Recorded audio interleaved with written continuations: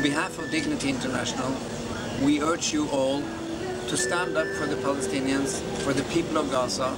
All of you can make your share. All of you can make your voice heard, and all of you can stand by the Palestinians in these dark days.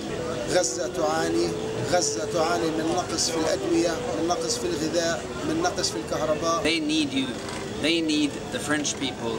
They need solidarity now. Please, don't turn your back on the Palestinian people. They need you. الآن العالم كله يتفرج وغزة هي قلب العالم الآن قلب النابض الذي يدمي ويبكي